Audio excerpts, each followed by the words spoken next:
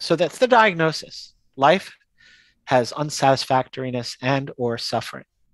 And I like to think of that too as has adverse life events and trauma. So then the second truth is what are the symptoms? What are the causes of this suffering thing? And the Buddha suggested it was craving, clinging, aversion, unhealthy attachment. In other words, the workings of the limbic and reptilian brain and the actions that we take because of it. Again, that which we learn uh, in our trauma care uh, learning is the, the the crux of the matter. You know, the reason why uh, things uh, end up going wrong in the end. In this video, I'm talking with Dr. Stephen Dansiger about his new book that he co-authored with Dr. Jamie Marich, Healing Addiction with EMDR Therapy, a trauma-focused guide. We will talk about specialty protocols and why they're not always the be-all and all solution. We will talk about EMDR as a complete psychotherapy, and Steve will explain a lot about the integration of EMDR and mindfulness and how EMDR can be conceptualized in the context of Buddhist psychology and the Four Noble Truths. We will briefly touch on the Meta protocol, a protocol that Steve developed, and a thematic approach to case conceptualization. Mostly, what we are going to talk about is how to do better EMDR therapy with people who suffer from addictions. Steve has been doing this work, both EMDR and addictions, um, for many years. And there's a lot that we can learn from him and from his book, Healing Addiction with EMDR Therapy, a trauma focused guide. Here is the interview with Dr. Stephen Dansiger.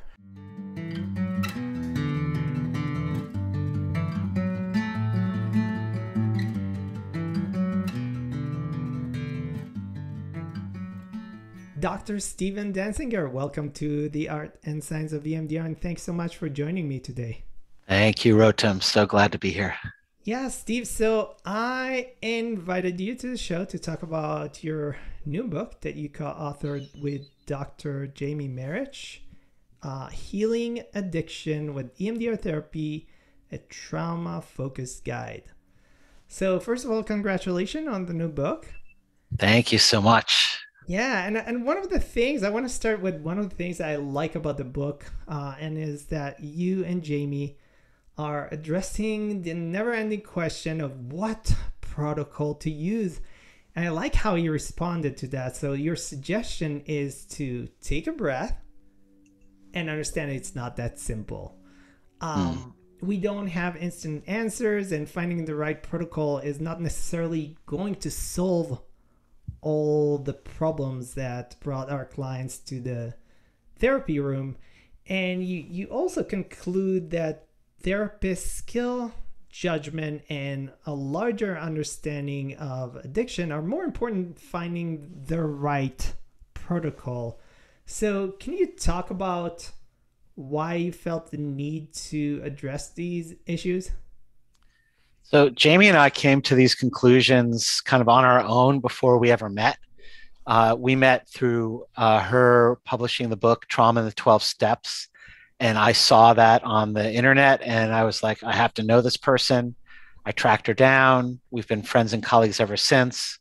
And so my trajectory was I got trained in EMDR therapy in 2005 uh, when I was working at my first uh, job at a an addiction treatment center, and the clinical director there was using EMDR therapy as a frontline therapy, uh, which was not common at the time, kind of in any scenario, really, uh, certainly not in in addiction.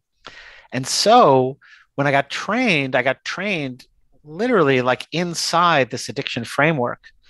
And I asked Andrew Leeds, who was who trained me, I said, Can you is this like is this a psychotherapy that's complete and can address anything? I mean, I know that it's evidence based or it's on its way to being evidence based for PTSD. Um, and he said, This is a complete psychotherapy and you can use it f- to treat addiction. And so, this premise of the standard protocol being the let's say, the first stop on the train of conceptualizing the addiction uh, was kind of handed to me uh, long before I, you know, sort of worked with Jamie to kind of make it into this book and, you know, and all the steps that we took to, to get there.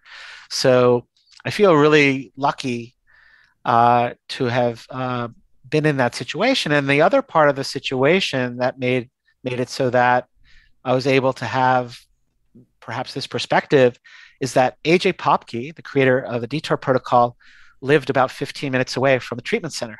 Mm. So at the beginning of my EMDR therapy career, I was basically getting constant consultation from Andrew Leeds and AJ Popky. And of course, you know, when I asked AJ, can I do, you know, this with folks in, in addiction? And he's like, yeah, that's what we're doing. And he also sort of gave me this perspective of uh, DeTUR as this comprehensive way of seeing the picture. And then when you look at DeTUR, you know, a, a lot of what it does is when it kicks into reprocessing mode, it kicks into reprocessing mode, right?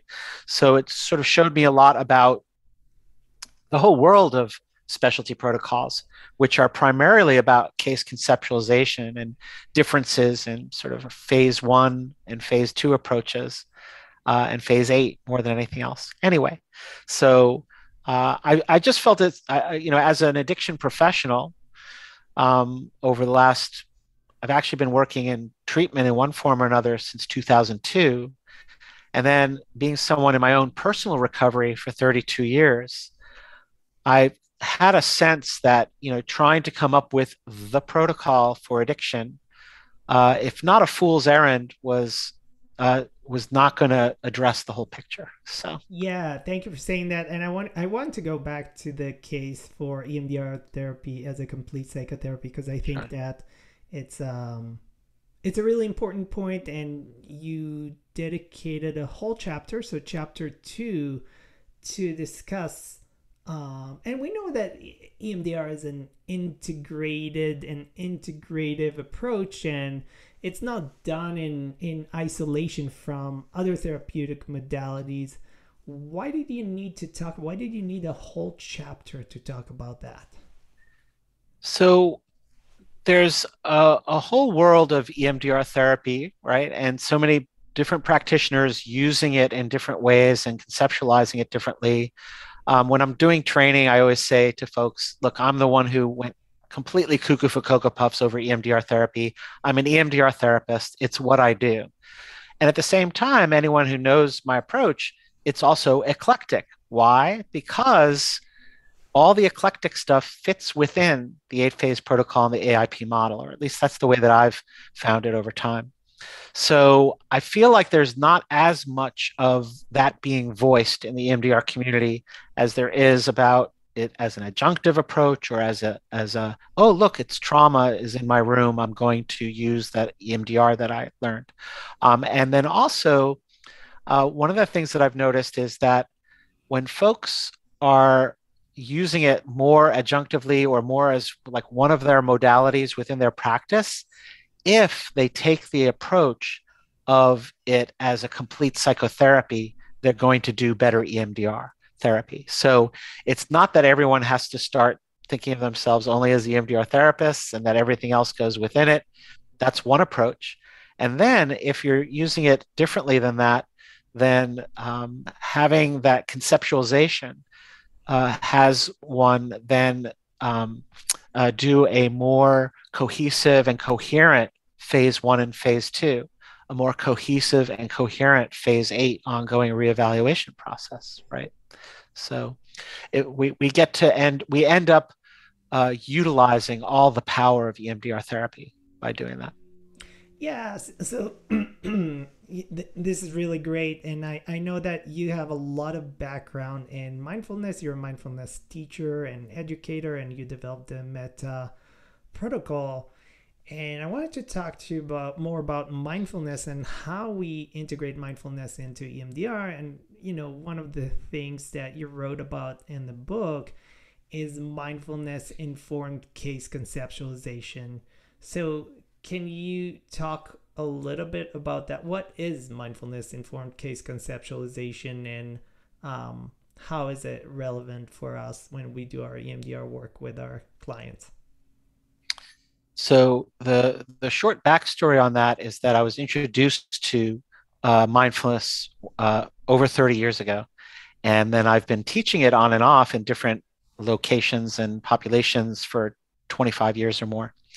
And so I conceptualize everything through that lens. I, I, give that backstory just to say that in a, in a sense, anything and everything that I do kind of goes through that. And so then when I was trained in EMDR therapy, I, I it's another conversation I had with Andrew. I was like, this is there's a mindfulness aspect to this, isn't there? Or there's mindfulness is embedded in this. And he's like, yes. and so he said it's one of the proposed mechanisms of action. And so ever since then, I've, uh, I, felt emboldened to to approach it that way. And so when I looked at the protocol, the mindfulness aspects were obvious in a couple of different places, right? Phase two, phase seven. You know, um, how do we resource folks? What are the best practice resources for people? And uh, one of the things that Jamie and I wrote extensively about in our first book together, EMDR therapy and mindfulness for trauma focused care. Um, I have right here in front of me that that that's the book, right? Yes, there it is. It is EMDR therapy and mindfulness for trauma focused care. Yes, also a Springer book. Um, and when we wrote that book, uh, we we broke down the protocol. We broke down really the AIP model too, uh, to show the mindfulness elements that were all there. Uh, but the the like I said, the most obvious was phase two, like what what is the purpose of resourcing? What is the purpose of uh, helping people to prepare, not just stabilize, but prepare for uh, trauma work going forward, and also to be able to really get some symptom relief, you know, right from the start. How do we help people to grow? And this is particularly true with addictions. How do we help people to grow in distress tolerance? How do we grow people's affective windows of tolerance? And you know mindfulness based practices uh, can be can be in for, for uh, in our estimation uh, are you know uh, some of the best ways to do that and then when you start to look at some of the other phases look at the reprocessing phases one of the hints that jamie and i got from from francine shapiro that there was mindfulness inherent in all this was just this language of what are you noticing now right and notice that. And that's mindfulness language. And what we found is that when you're doing resourcing with folks, you're not just resourcing them, but you're also giving them language and an ability to quote unquote notice, right? Because noticing means it could be thoughts, it could be feelings, it could be memories, it could be body sensations, it could be nothing. Right. What is it you're noticing? And and then we go on to the next set of stimulation and and the next thing happens right and then we ask them to and it's just this ongoing noticing and so that's a that's a mindfulness practice and um, part of the another part of the backstory uh, is that uh, I had the opportunity to speak with someone who knew uh, or found out that uh, Dr. Shapiro got mindfulness training from Buddhist teacher Stephen Levine uh, before she uh, call it discovered the eye movements or had her experience in the park, and that explained a lot to me. Um, you know that uh, I could just it made it made the the walk in the park make so much more sense to me, where she's walking in the park and she's noticing her difficult feelings or thoughts. And then she's noticing this eye movement and, and what is this right? That's a, a question often asked in zen. So my initial training in mindfulness and in buddhist psychology is through the zen portal. And one of the, the very uh, common ways we we kind of try to notice what's going on is what is this and i could just see her what is this and then noticing that the thoughts the feelings you know whatever level of desensitization happened she's like huh, what if I did this again? Would it would it happen again? Right. And so for for me, it's these simple kind of moments or or ways of uh, seeing that uh, explain a lot of what's going on in EMDR therapy. And so, uh, one of one of the stories that I think is important for uh, EMDR therapists to to know is how, you know, when she created the therapy in 1987, there was one article in the clinical literature on mindfulness that year. Right, one. right. I think I think it's it's important to put these things in perspective because you said that she was you know she was introduced to mindfulness and of course today everybody's introduced to mindfulness including mm-hmm. you know mm-hmm. my my six year old son and you know in class and in the military and yes. in, in, in you know corporate america there's mindfulness mm-hmm. everywhere uh, but it was not as common in 1987 and, and it was very much not common in the clinical world which if you know along with telling people that if she were to wave her finger in someone's face, they are going to end up feeling better. Oh, and by the way, it's also based on this mindfulness thing. That would have just been one thing too many. She she never would have gotten through the vortex of that she had to go through to to to bring EMDR, you know, to fully birth it. And so uh, super grateful to her for everything that she did and went through with that. And then also, you know, um, uh, you know, in phase eight, reevaluation.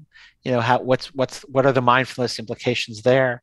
The more that i'm able to as a clinician have my own mindfulness practice be able to take a breath and then go into my writing my notes then go into you know sort of thinking through or being with my treatment planning uh, being mindfully aware of what i need to do to take care of myself between sessions uh, in order so that when I come to my next session, not just with this client, but with whoever's next on my, you know, uh, uh, on my docket, you know, that I'm that I'm ready to be fully present uh, with that person. So all of these are are some of the mindfulness implications. Yeah, you mentioned um, Buddhist psychology, and I, am wondering if we can take a, a little deep dive into you know even more mindfulness and sure. we can talk about you know the influence i know you were uh, you had extensive training in in mindfulness and buddhism including one year at uh, residency as at, at a zen meditation center can you mm-hmm. talk a little bit about more about that integration specifically from the buddhist perspective sure uh, the Buddhist Buddhist psychology, Buddhist perspective, mindfulness perspective, all have fed the way that I see addiction and the way that I see uh, EMDR therapy and the AIP model, trauma care, um, all of it. So, um, so the training at the Zen monastery, you know, when when I was there for a year, um, I, I, love to share with folks, you know, like uh, I did it so you don't have to. Uh, you know, we meditated for four and a half di- four and a half hours on a normal day, right? Like if it was just a r- random Tuesday, there's four and a half hours of sitting, and then on a retreat day there'd be anywhere from ten to fourteen hours of of sitting, and it was powerful, powerful practice, and really sort of uh, helped me to understand a few things and we, we could go on rotem for for quite a while about on the existential side and all the rest of it. Yeah. but but but what happened for me when i got trained in emdr therapy and i was exposed to eight phase protocol aip model and Janet's three stage model of trauma treatment. Uh, and then i looked at the four noble truths of the historical buddha. And for those who are familiar here's a review and for those who are not familiar uh, the Four Noble Truths were the first teaching that the Buddha provided. And it actually wasn't the first. He tried a couple of other uh, rounds of it, and everyone was just looking at him like, what? You know, they, they he, he, he, and he didn't even want to teach it because he, he was like, this is too much. I, I can't imagine anybody's going to either understand or, or be willing to walk the path finally he went back into his workshop i guess and came up with these truths which are in fact a diagnostic really they're a, a, a, based on the medical model of the time. It's like oh this is how i can explain it. And so the diagnosis is uh, life has uh, something called dukkha is the um, sanskrit word for it. And dukkha is most often translated as suffering right? And so when we think of suffering, we think of, you know, old age, sickness, death, and so we don't even have to go all the way to that. There's plenty of suffering right in front of us all the time, especially nowadays. The other translation of the word is unsatisfactoriness, right? Which the implication there is a continuum, you know, that takes us all the way from old age, sickness, and death back to traffic on the 405 or my daughter won't doesn't want i don't want to go to school today is the first thing she says. Highly unsatisfactory but not suffering until and unless i latch onto it and get down to some suffering. Like start a fight with her start yelling at the traffic at the 405 start tailgating people you know whatever it is.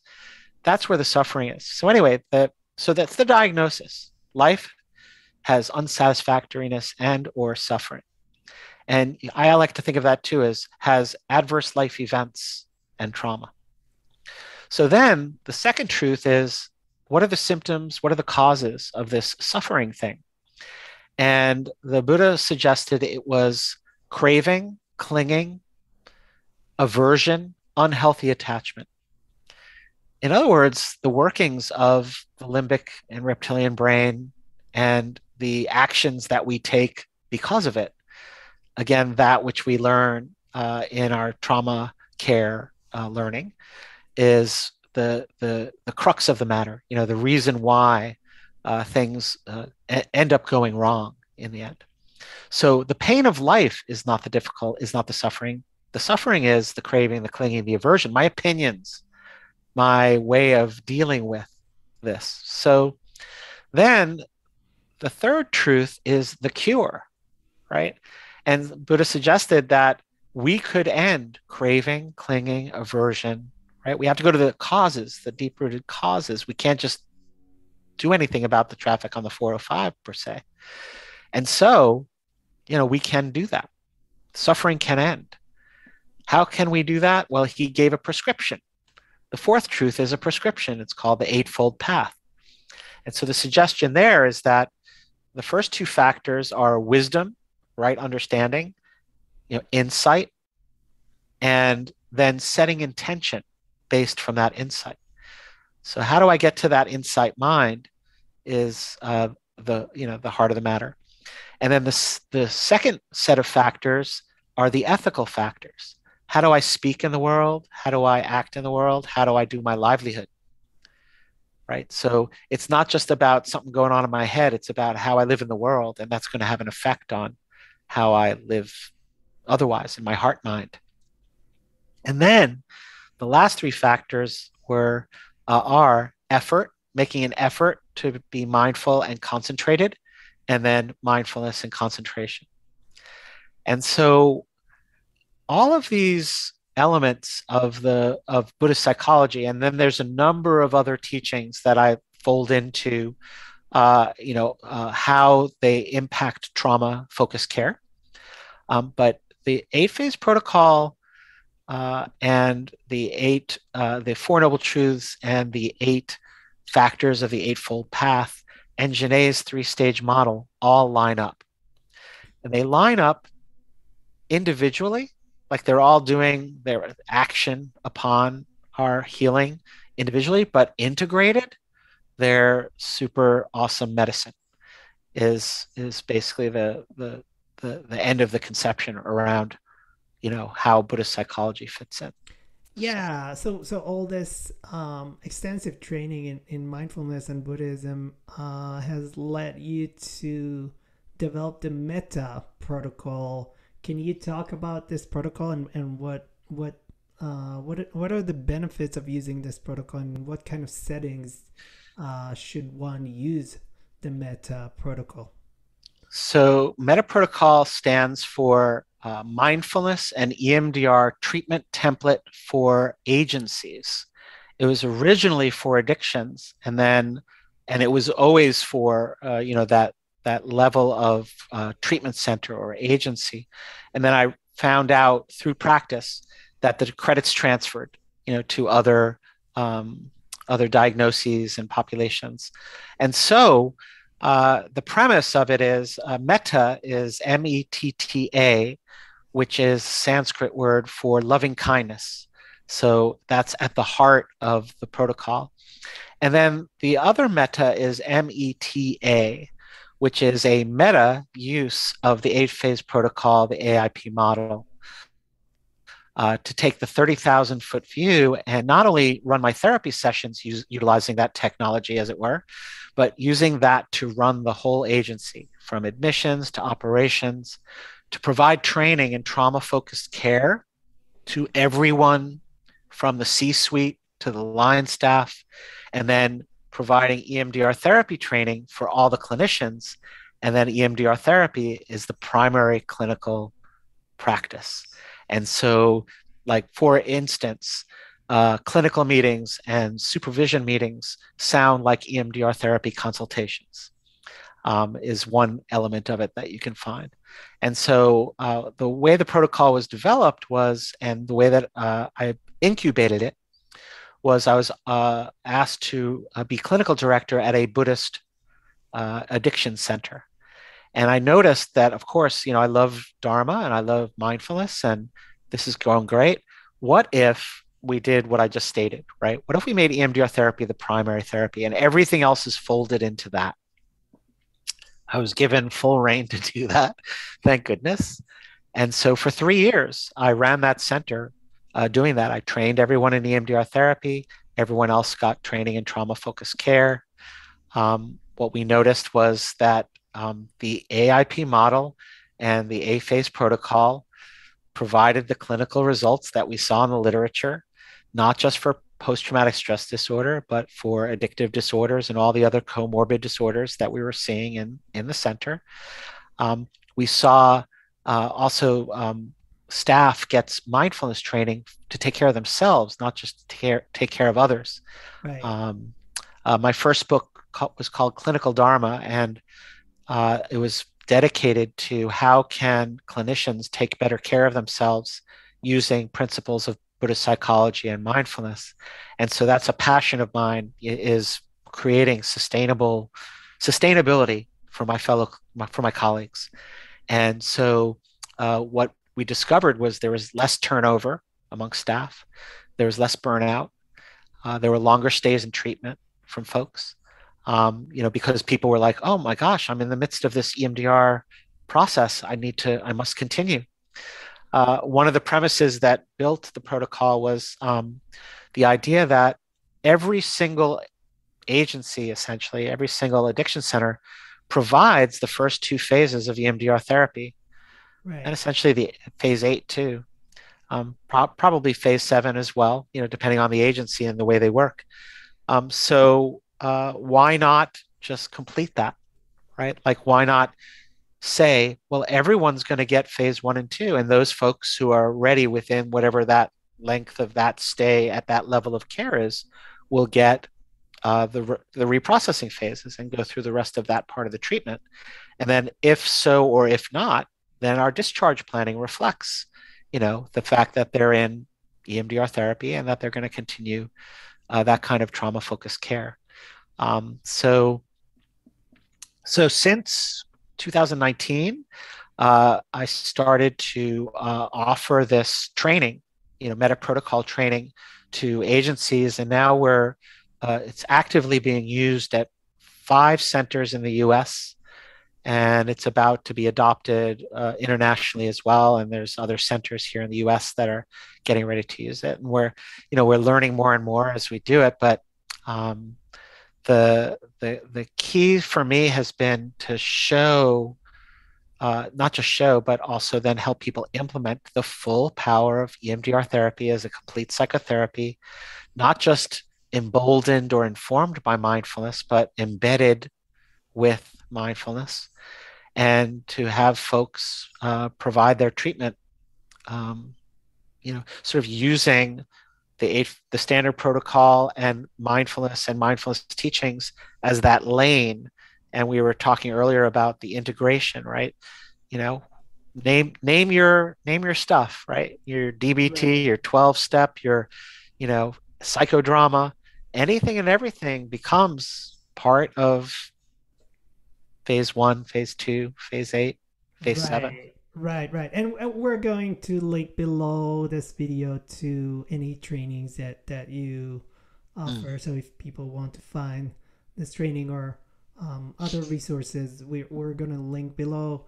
Um, Steve, I want to go back to phase one now and, sure. and ask you in the book, uh, you write about a thematic approach to client history and that it's sometimes better than the traditional, more linear or chronological approach. What what is a thematic approach and what are the advantages of using this approach to client history taking?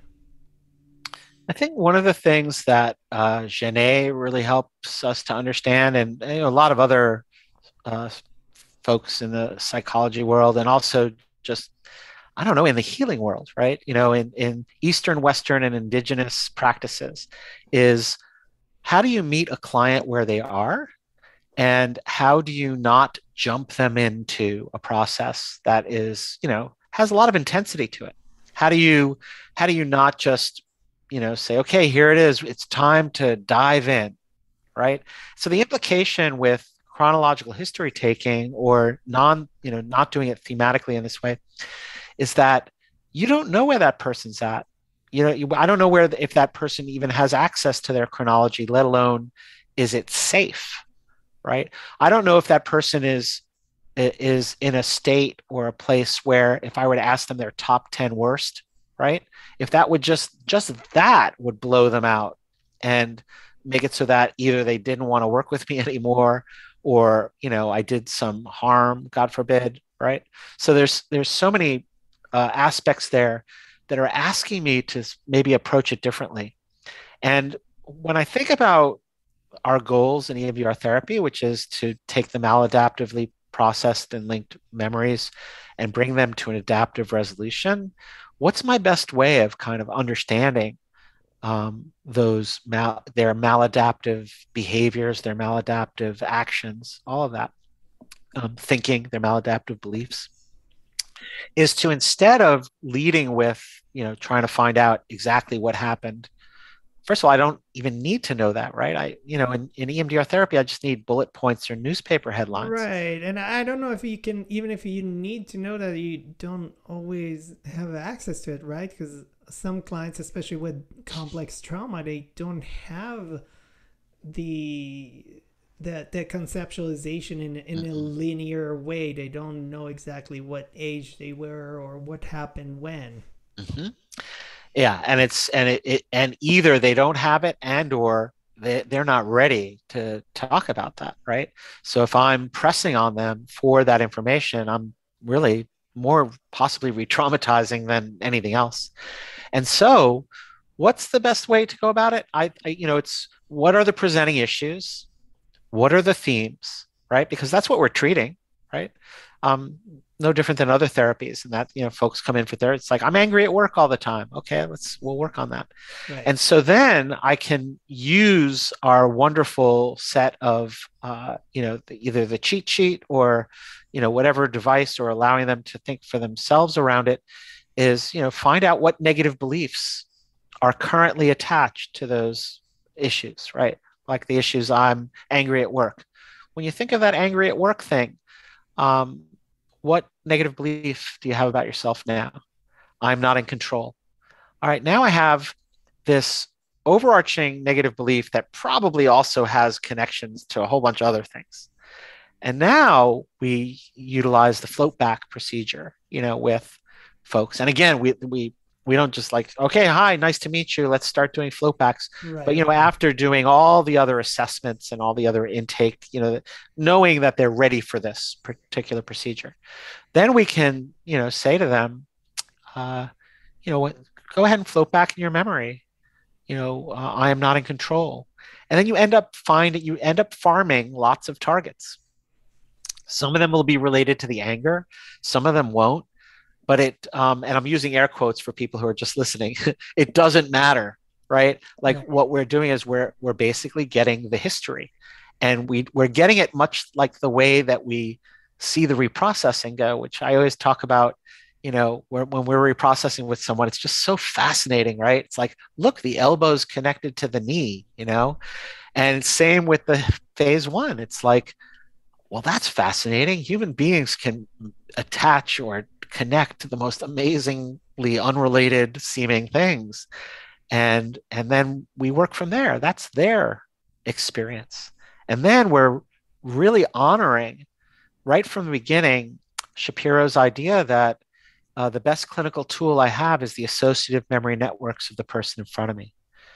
So their associative memory networks are most often, to your point, Rotem, like most of the people who come into my office have some version of complex manifestations of trauma, whether they have complex PTSD or not. Right. And so if I were to just be looking for the history as such, you know, chronologically, I'd never find anything.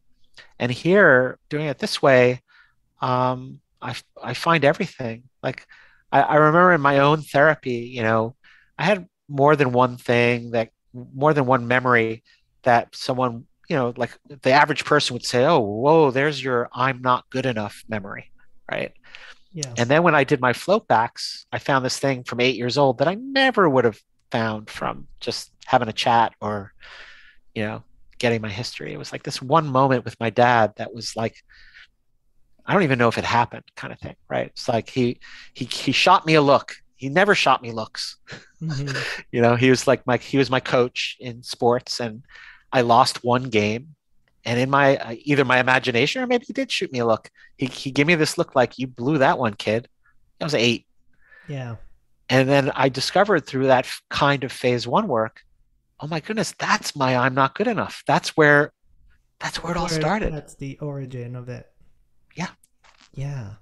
Um I want to transition to talking about the preparation and in sure. chapter 4 you talk about you know uh, one other question that it has endless debate and that's how much preparation is enough so i guess i'll do the classic therapist thing and refer it back to you how much preparation steve is enough so Jamie's favorite word is depends. Uh-huh.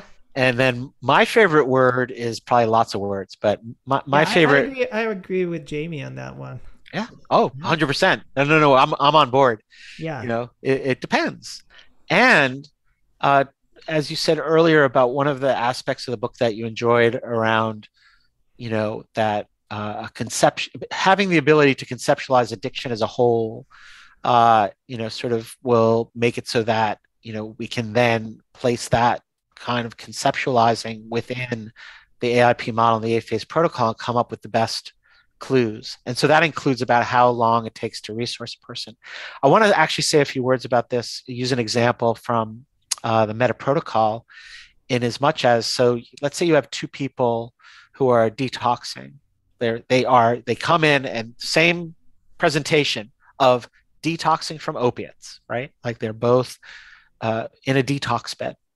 One of them has been using opiates steadily for 15 years, you know, and it's you know it's obvious to them and to us through our assessments that this is going to take a minute for them to to get resourced and i'm not going to start asking them phase one kind of questions i'm not even going to teach them mindfulness i'm going to give them their detox meds and a bed and here's some food right that's their phase two resources at that moment. Yeah. Another person in the bed next to them, they just came off of about a one week long run on opiates after having kind of on and off recovery and really, you know, kind of living their life and for the most part being good. But uh, something something kicked up their trauma. They went back to their opiates, and they and they are using them sufficiently that we need to detox them. So, same resources, right? Here's your meds, here's your bed. And then also, though, we're looking at that, this recent history and their history. And I'm thinking, oh, this is someone who might be able to move right into the phase one and phase two work, right? Mm-hmm. This is someone who they, they, they might, and I'm using an example from the book, uh, which is, you know, someone similar to the second person I'm talking about came in and had a 20 year long mindfulness practice that had been consistent, whether they were in their opiate addiction or not.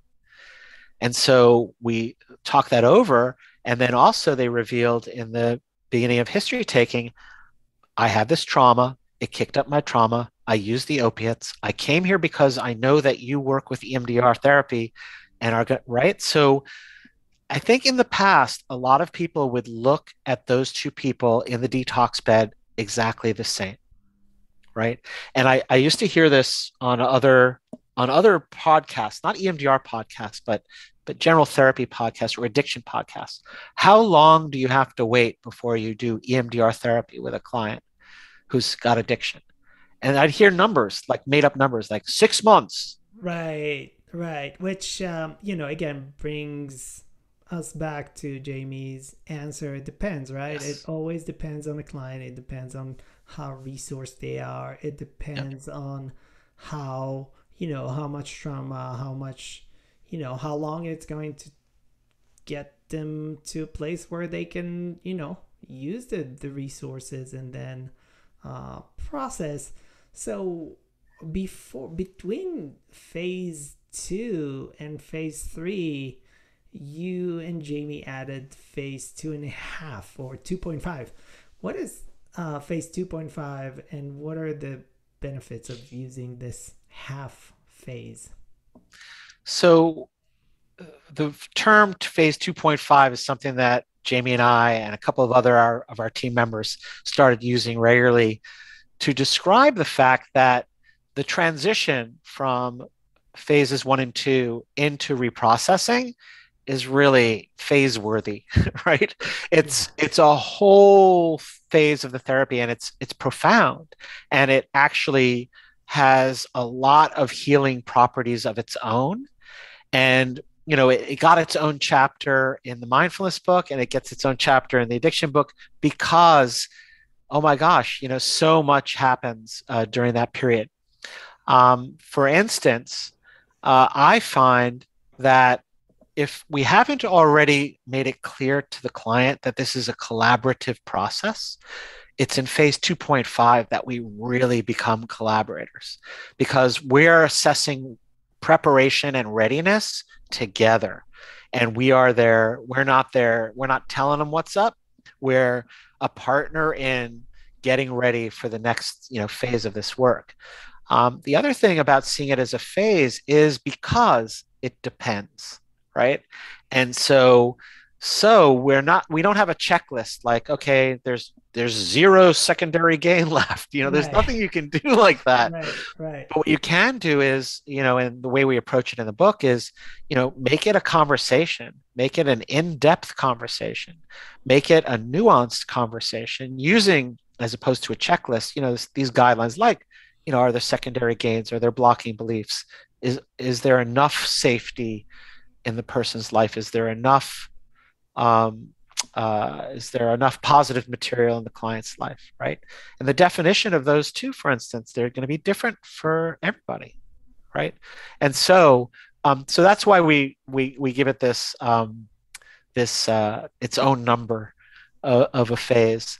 Um, I also use that. Uh, I also use that um, uh, in my work around uh, looking at uh, the palette of EMDR interventions in addiction uh, from Markus and Hornsveld, uh, you know, which uh, was work that uh, came out sort of parallel to the work that we were doing here with Meta Protocol, in as much as they really sort of broke down uh, that there are 15 modules of interventions that have been created over the last 30 years between standard protocol and specialty protocols.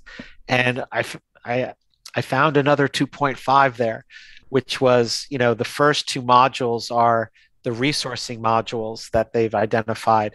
And then I said 2.5 is mindfulness based resourcing. That is the only thing that I saw that, that was worthy of adding uh, to the palette. And then it moves into, you know, that which we do in our reprocessing and such. But, um, but in any case, 2.5 is one of my favorite times in the therapeutic process actually. Yeah yeah yeah yeah. And I, I, like what you say in the book about again that specialty protocols. And I, I think and this is my opinion but i think some of the best specialty protocols we have because we have a lot i think we have too many in my opinion uh, but some of the best ones are actually in addiction and you in the book advocate that in phases three through six uh, when we're actively reprocessing target memories with EMDR specifically for addiction, uh, you advocate for using the standard protocol. Can you talk about that? That's I think that's a um, that's a new approach. That that's something that I, I have not heard before, but made a lot of sense. So Jamie and I, it's another one of those sort of aspects of the work. First of all, Jamie and I, I'm, I'm having this thing where I'm having trouble sometimes seeing whose voice is who in the books, which is really fun now that like yeah. we've written a bunch together. The combined voice. Yeah, there's a there's a there's a voice that we have. Um, but you know, we we've both found things together and we've found things separately. So it goes back to uh, maybe the when I was trained in 2005, and I was shown that uh, addiction uh, has its roots in trauma, and so then why wouldn't we approach the addiction dilemma through the standard protocol? And then what would be on the other end of that is that anything that wasn't related to the trauma would be able to be much more easily and eminently healable having you know cleared out the traumatic roots of um, of trauma. And then you know cut to nowadays you know where thought leaders and action leaders are being much more uh, you know out front about the mm-hmm. traumatic roots of addiction. And you know Gabor Maté and others you know is just saying you know uh, addictions are uh, adaptations to trauma uh, and that if we don't treat the trauma, uh, we won't treat the uh, addiction. So it's kind of just taking that and saying, okay, then let's treat the trauma. Okay, now what really works at treating the trauma? Well, uh, the eight phase protocol, the standard protocol, um, seems to address all those. So then when I look at the specialty protocols, and like I said, I had early uh, uh, um, work with uh, DeTUR. Um, and what I found DeTUR to be, and I found uh, some of the other specialty protocols to be, were uh, they were created most of the time, and I, I, could be off about this because I don't know everyone who created uh, these protocols, um, but a lot of them were created from this sort of more harm reduction perspective, which I think is a huge gift um, because uh, it allowed uh, allowed for Jamie and I to conceptualize the use of the standard protocol as this holistic kind of operation, and that all these other harm reduction aspects or harm reduction um, efforts could be part of that conceptualization and how you act upon it. In other words, using specialty protocols for what they are good at, right? Like DeTUR reduces urges and and desensitizes triggers. Um, CraveX is pointed at craving. Um, and uh, feeling state, right? Feeling state protocol, which really addresses one, as far as I can see, one major aspect of addiction. So I can turn to these specialty protocols. Oh, like I think we're going to work on this feeling state aspect. I think we're going to work on the urges and triggers today because my client just can't seem to think about anything else today but perhaps relapsing today. So they're not ready to do, but I, I don't have to leave the EMDR world in order to address that. So then they come up, come in the next session, and the conceptualization remains the same that we're taking a trauma focused approach to the healing of addiction. So when I have when I have uh, a phase one list of a client with addiction, it's no different in a sense than my client without addiction.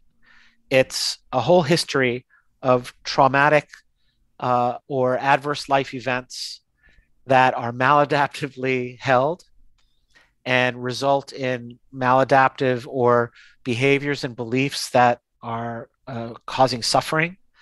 And that once we identify and then bring them through the reprocessing phases of the standard protocol, are healed. Yeah, that that makes a lot of sense. Uh, thank you for clarifying that.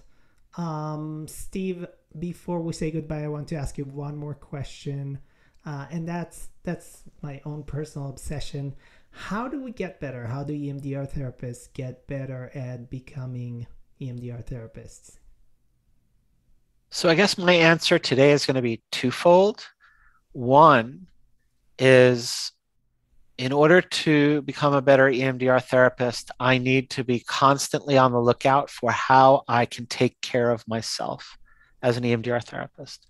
I think it's especially obvious over the last couple of years. You know, we're in the same pandemic that everyone else is, you know, right. us therapists. And then we're going into the office to, you know, or on the Zoom uh, or on you know on the screen to help folks with their stuff. So so finding you know of course i'm a big believer in mindfulness practice but finding those practices that represent your self you know your self-care toolkit. And then the other is i really am a like i think a lot of the sort of flag i've planted is around this emdr therapy as a complete psychotherapy regardless if I'm using it like once every six months or once every six minutes, um, that I use the full power uh, and and that which is available to me through the AIP model as a, as a foundation, the eight phase protocol as my go to, and all the specialty protocols and other you know interventions and all of that which can easily be brought into uh, EMDR therapy either as a, a help to it or it just integrates it's already integrated or it integrates quite well. So those are my thoughts like really being able to find a way to take care of myself and really availing myself of really uh, of everything that is there for me in EMDR therapy. Thank you. Um, Dr. Stephen Dansiger, thank you so much for your time and thank you for writing a wonderful book. Um, thank you, Ruth.